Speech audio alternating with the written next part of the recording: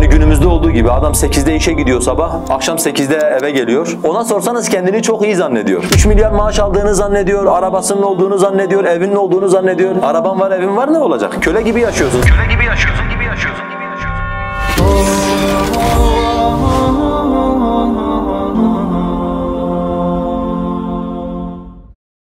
Oğulları Yusuf Aleyhisselam'la beraber Mısır'a girdiler biliyorsunuz. Yusuf Aleyhisselam Mısır'ın mülkünü Allah ona nasip edince Yakup Aleyhisselam ve Yakup Aleyhisselam'ın çocuklarını da oraya davet etti. İsrail oğulları orada çoğaldılar. Tabi İsrail oğulları Yusuf Aleyhisselam'ın döneminde çok kıymet gördüler. Kralın yakınları olduklarından dolayı Mısır'ın bütün imkanlarından faydalandılar. Yusuf Aleyhisselam vefat ettikten sonra tekrardan Firavunlar yönetimi ele aldıktan sonra Firavun ailesi dedi ki biz bu İsrail oğullarını ne yapacağız? Bunlar burada çoğaldılar. Bizden daha fazla oldular neredeyse. Biz bunları kötü işlerde kullanalım. Tarlamızı sürsünler, akıllarımızı temizlesinler, çocuklarımıza baksınlar. Bizim hizmetçimiz olaraktan hayatlarına devam etsinler dediler. Bunun içinde ne olması lazım kardeşlerim? Ellerindeki bütün izzeti, bütün kerameti ellerinden aldılar. Ellerindeki bütün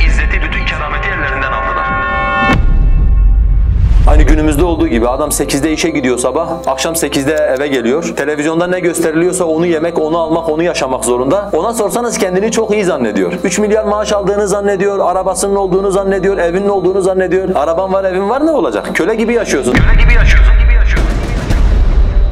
Sabah 8'de gidiyorsun, akşam 8'de tekrardan evine geliyorsun. Yok fatura ödeyecektin, yok kira ödeyecektin, yok arabanın masrafını ödeyecektin, yok işte efendim çocuğun okul masrafını ödeyecektin, yok hastane masrafını ödeyecektin derken ömür geçiyor. Senin izzetini, kerametini elinden almışlar. Peki bütün bu çalışmanın kaymağını kim yiyor kardeşler? 4-5 tane aile yiyor. Koç ailesi, Sabancı ailesi, bilmem şu ailesi, bu ailesi. 4-5 tane aile bütün ülkenin servetine hortum atmışlar. Bütün ülkenin servetini yiyorlar. Ülkenin kalan kısmı da sabah 8, akşam 8 çalışıyor. Niye? 6 tane 7 tane aileyi doyurabilmek için. O dönemdeki firavunlar da böyleydi.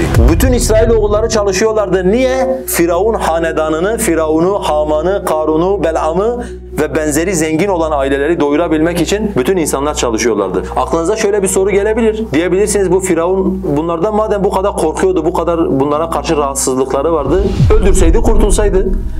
Amerika kendi içindeki zencileri niye öldürmüyor kardeşler? Öldürse ayak işlerini kim yapacak? Avrupa kendi içindeki Arapları niye öldürmüyor? Nefret ediyor, tiksiniyor. Aynı sofraya oturmayı bile şey yapamıyor, göze e, göze alamıyor ama öldürmüyor da, sürmüyor da.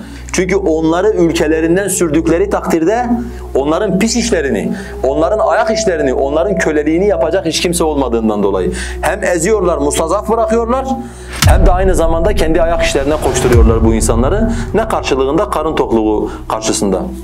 Bu o günün Firavun'un da yaptığı bir şeydi. Bugünün Firavunlarının da aynı şekilde yaptığı şeylerden bir tanesi. Bunların hepsinin bir tane gayesi var kardeşlerim. Bu gayeyi sakın unutmayın. İnsanların niçin yaratıldıklarını fark etmemeleri. İnsanlar